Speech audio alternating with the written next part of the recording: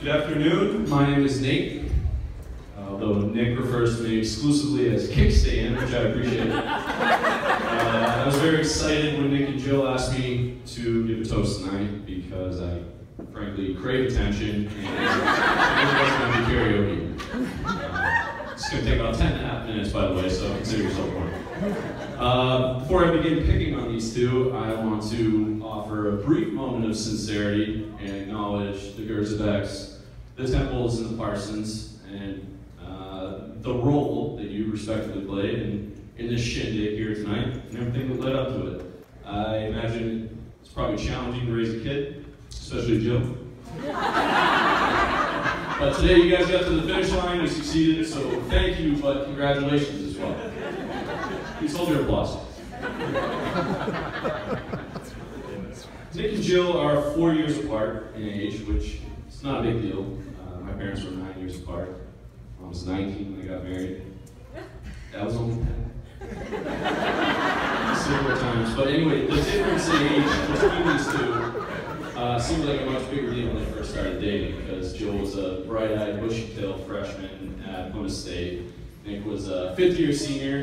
Like, sure about things like riding around town on his moped, showing up at parties and challenging people to foot races. Listened to a lot of bootleg. And, uh, still, we, we pick on Nick for having such a young girlfriend the first. time. Uh, my dad met Jill for the first time, he told me she smells like bubblegum and homework. but, but really, what was there not to like? Uh, you know, Jill had her act together. She was balancing her schoolwork, lacrosse, social life. Somehow finding the time to teach Nick things like toilet seat etiquette. we quickly came to realize that they were just right age for each other. And uh, now Nick's all grown up. He's so mature. sure. Well, when Nick goes to work, he uh, he wears two socks. Neither of them have a Nike swoosh on.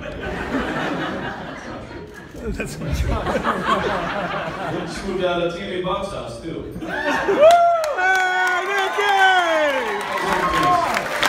Finally, answering the question, how old is too old for you and your mom to keep accidentally see each other naked? It's 32. Just need to get another bath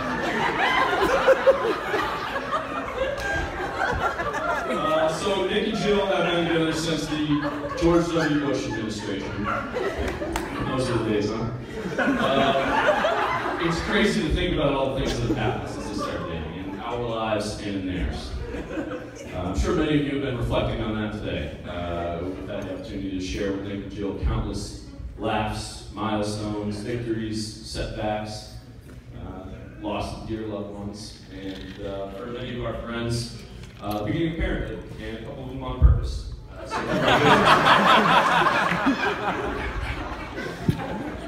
Matter of fact, we've been experiencing plenty of change here among the groomsmen. Uh, let's see, JJ, quit drinking and smoking. Tim, quit getting arrested. I'm relying on uh, Kelly to pick out his outfits. straight up the don't know what the trick is, but these guys are saving a ton of money on hair gel. Uh, you know, so even though Nick and Jill have been together for as long as the third grader has been alive, or in this case, the second grader, even though they've been together uh, for nine years, there may still be a couple people here who haven't had the opportunity to uh, get to know Nick yet. And so, uh, in addition to what I've already said, I'd like to offer a couple of uh, anecdotes to help you understand the essence of Nick, which coincidentally is the name of a cologne that Nikki and I have been working on in our spare time. the essence of Nick. now, I'm not going to stand up here on Nick's wedding day and call him a bullshitter. I refuse to do that. But know this, if you ask Nick a question, really any question, uh, yeah, uh, you're going to get the answer, for better or for worse. He doesn't like to say, I don't know.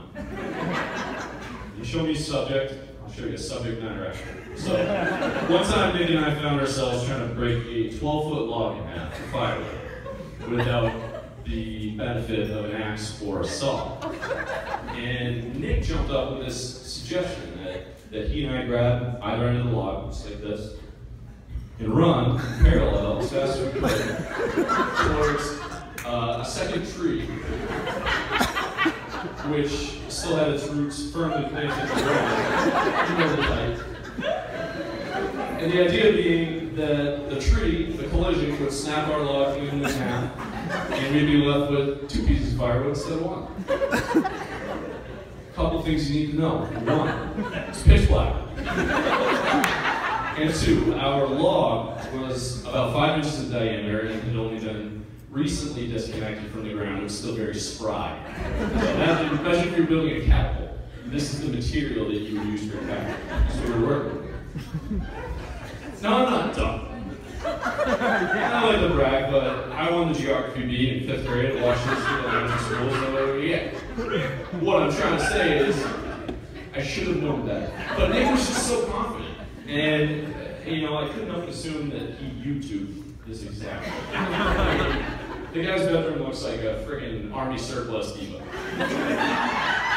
I can almost guarantee he's got waterproof matches in that jacket right now. It just seemed like the sort of thing that he was equipped, uh, the sort of problem he was equipped to solve. But as you have probably guessed, I was wrong, and so was Nick. Uh, if this stunt of ours had a name, it would have been Skinniest Guy Loses. so Nick did okay. But I got a spring-loaded pine trees collectively went undefeated.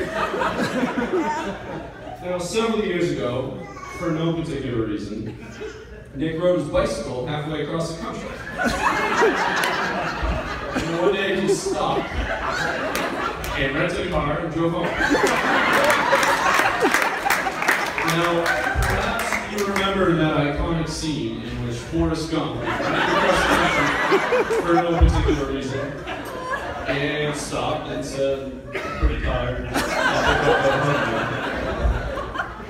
That's exactly what Nick did. Except instead of doing it in Monument Valley, Utah, he did it in Gary, Indiana.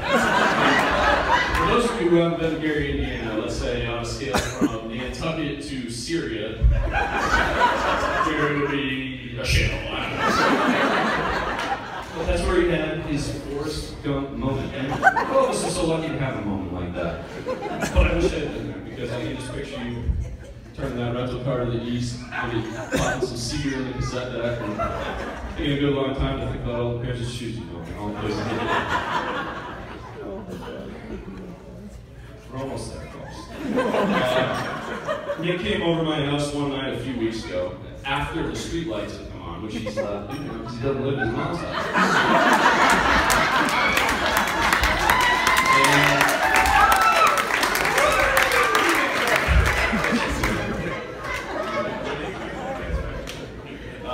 He uh, showed up with a six pack a backpack. Big deal, right? But I, I was a little nervous about what could have been in that backpack because I know. And I watched with suspense and then confusion as he opened it pulled out this giant bowl of popcorn. For some of you don't think, oh, is that weird? I think it's psychotic, to be perfectly honest. I think if somebody cooks up a bowl of popcorn, places it in the bottom of a JanSport, and drives it across the it's because they want something to munch on while they kill you. That person has blueprints for a skin suit in your size. Or maybe that person's name. When that cologne of ours comes out, I think the tagline ought to be innocent but peculiar. because that is the essence of it. Nick, on behalf of all of your friends and family, holy smokes, buddy, you did it. Woo! Hey, Nicky! While living this life, you made yourself a sweet, intelligent, hardworking, and lovely girl. And it's been a pleasure getting to know her uh, over these nine years. Nine years. Frankly, I think you guys are rushing it. well, we are all genuinely so proud of you. To Nick and Joe. Hey!